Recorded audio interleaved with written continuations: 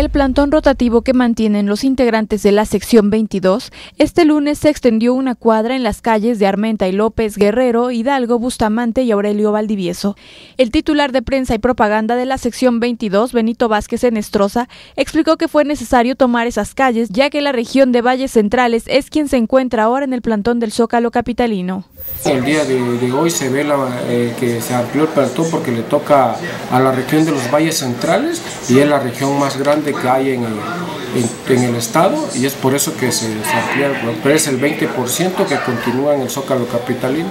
Acaba de terminar la región de, este, de la Mixteca y, y, la Sierra, que son regiones pequeñas, y ahorita están los valles centrales, que es la región más grande, por eso es que que se ve que se amplía el plantón.